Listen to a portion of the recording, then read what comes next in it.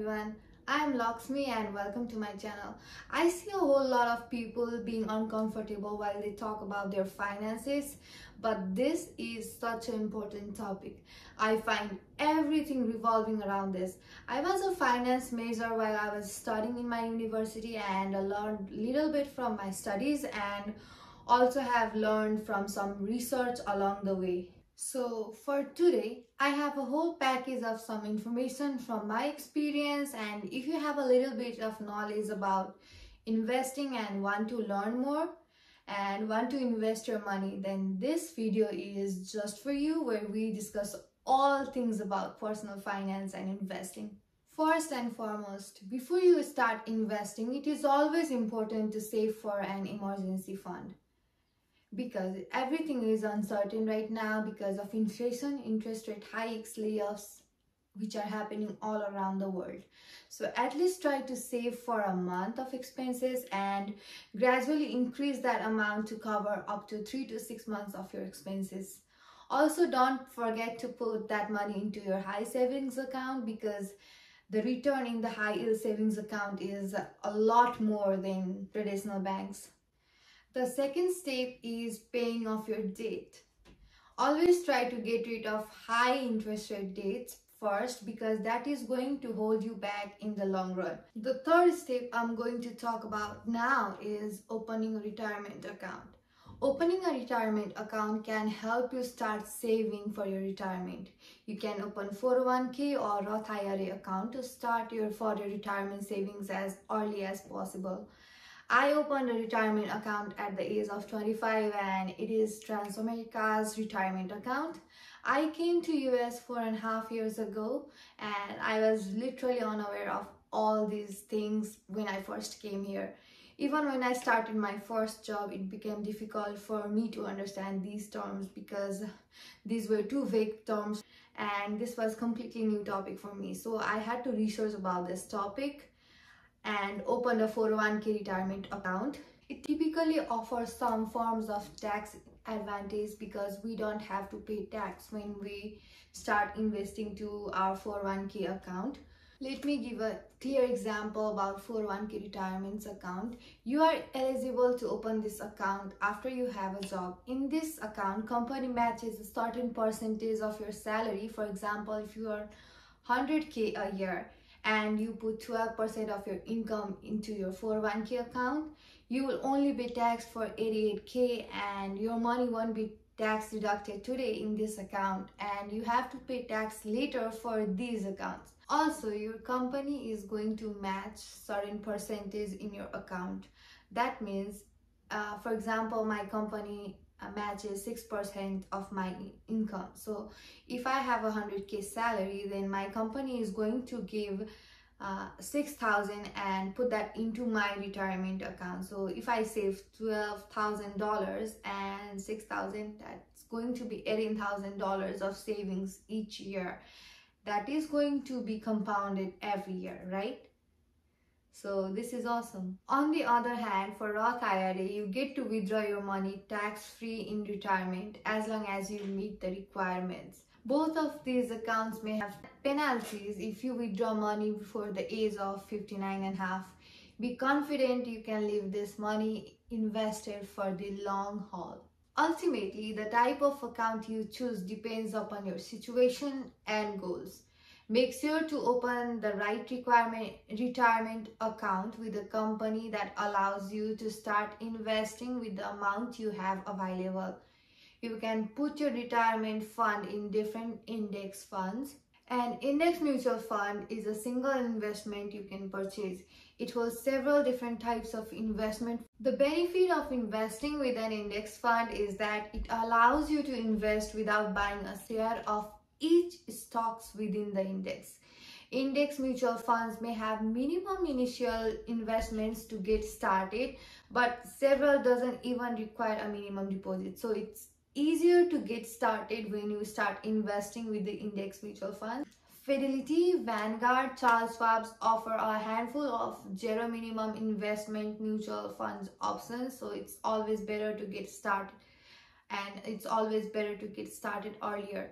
Another upside is that the investments made here are diversified, which means you spread out the risk. Rather than holding a, a stock of a single company, you are holding a stocks or bonds through the index mutual fund and it diversifies your risk in one form well if one of the companies you are invested at goes bankrupt then it is also not a problem because as your investment is diversified it's always a little bit of risk free in certain sense.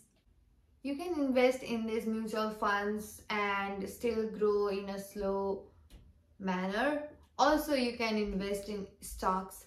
Generally uh, stock is a share of a company for example, if you want to buy a share of a Tesla, which means you buy a small piece of Tesla and your stock grows as the stock market grows and as this Tesla company performance grows.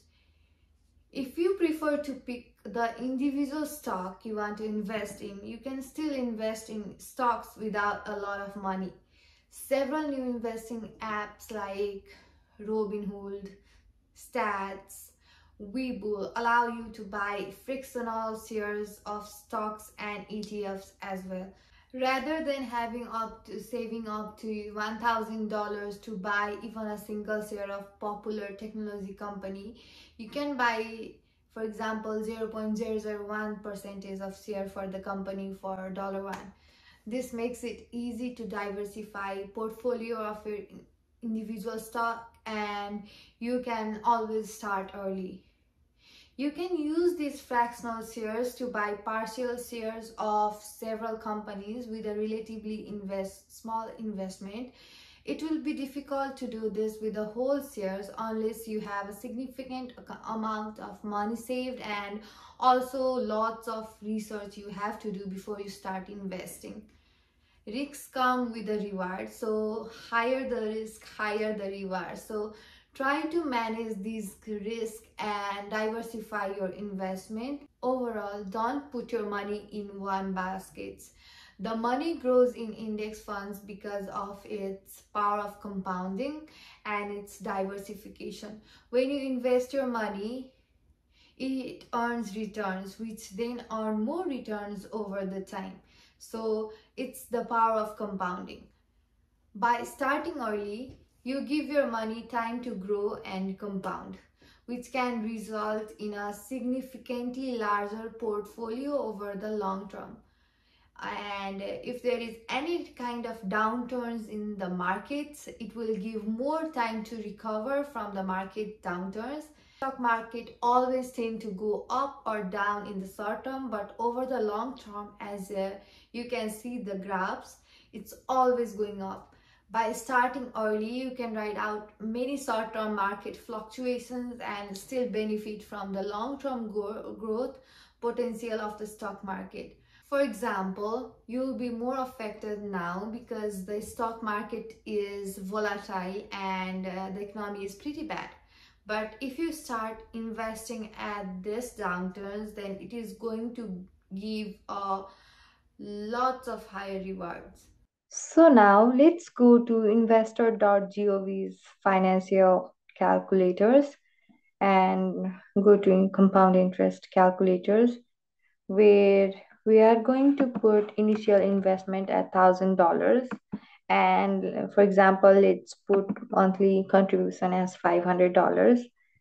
And uh, the time to invest is 30 years and the estimated interest rate. Let's keep it 8% as the S&P index funds. Growth rate is 8 to 11% so let's keep it 8% and calculate it now. So if you see here the red gra red line that's going upwards is the amount that comp compounded gradually. And the amount tends to be 689,761 dollars and 92 cents. And the amount you invested in a point of time is almost $181,000 so you see the massive almost like three and a half uh, times growth in your money right? Within the span of 30 years. So it's always better to start early and the earlier the better. So now let's talk about the other topic that is investing in real estate. It will almost take one to three years to save for the down payment of your first home. So if you are thinking of investing into real estate then make sure you don't put your money into S&P index 500 it is most important financial decision to make and it is one of the best I, advice I ever got. For example if you had put your money in growth stocks in 2022 the value of growth stocks even some of the value stocks has decreased over the period of time and in this kind of period in uncertainty you are always going to lose your money so it's always better to keep that down payment money aside rather than putting that into S&P funds so that your money is secure and you are able to buy your dream house. You can put your money in high yield savings account if you don't want to lock your money away for a set period but if you want a high interest rate, then checking account or savings account, consider a money market or high yield savings account. Although interest rates have been declining as a whole in comparison, these accounts could be a decent savings option for you when interest rates are rising again different banks are giving you interest rate from about 3.5 to 4.5 percentage so it is always better to look at that. The most important thing to invest is invest in yourself. Traditional investments are great but you may be able to earn more money if you invest in yourself. You can buy books or courses to teach yourself some new skills so that you are marketable at your job you can be able to verify your skills by taking different tests and earning certifications. This can show your expertise in particular skill and also you may be able to start a profitable side hustle.